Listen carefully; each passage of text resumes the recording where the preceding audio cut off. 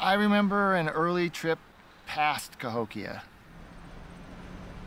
My father was a truck driver, and I occasionally, as a little kid, six or seven, I would go with him and we would drive past it. I remember feeling like, wait a minute, like, what's this doing here? you know, what is this? That drive past the mounds sparked a career for archaeologist Tim Pauketat. His research suggests that Cahokia, like Teotihuacan, is laid out on a celestial blueprint. The mounds are positioned in, in various ways, you know, to reference something. It's not, they're not arbitrarily, randomly placed.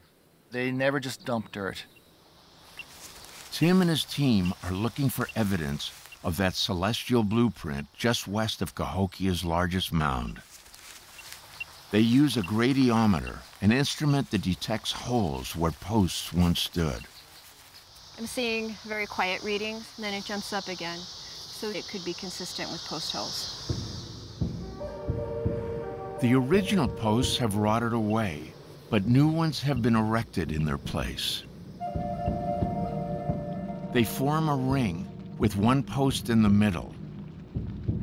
It's known as Woodhenge. Woodhenge is a large ring of sizable cedar posts.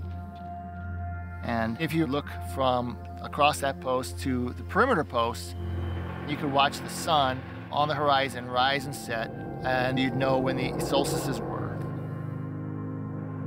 Just like the sun disk paintings in the Amazon, Woodhenge is a solar calendar.